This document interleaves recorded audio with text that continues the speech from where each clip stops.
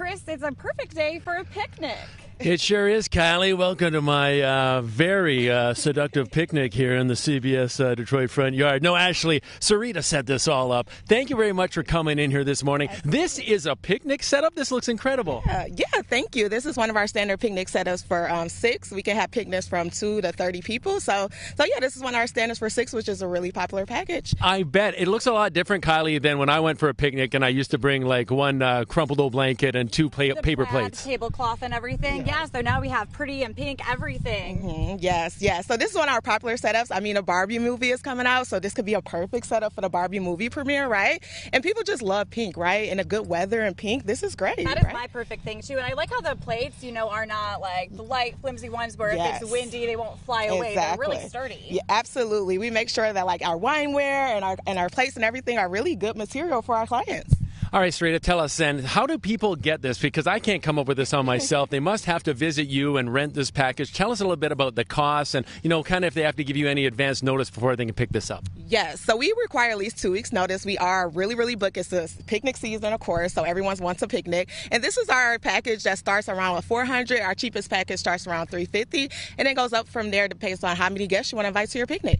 And you get it for the full 24 hours? Yep, nope, not 24 hours. You get it for two, but you can book it for more hours if you like. Two hours. That's quick picnic. Wow, that is quick. I mean, do you guys also set it up and clean it up mm-hmm. too? Yes, our clients don't do anything. They don't lift a finger. They just come enjoy. We pick up and we set up.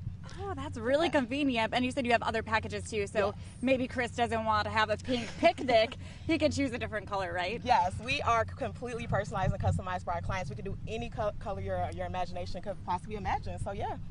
All right, give us a few ideas because now that I got the picnic gear, where can I go and take this to have the most romantic picnic that I've uh, ever dreamed of? Wow, there's so many places in Metro Detroit. One of our personal favorites is Riverside Park. Anywhere on the water, it gives like like ambiance. It gives like more of a vibe to your picnic. So honestly, anywhere on the water is the best thing for us. I like this. This is a good thinking. I got to stop by Busch's, get the food, then I'm going to go buy. here for the picnic. Exactly. It'll be perfect. And you guys have this year round too, right? It's not just in the summer? Yes, absolutely. We have heaters in the winter, and then and if you want to do a bubble tent, we also have um, air conditioners, so you can be like cool What? in it. Yeah, in a tent. So yeah, so we have everything to make sure our clients are comfortable. Yeah. You thought of everything. Oh my gosh. A tent, air conditioners. I like where this is going.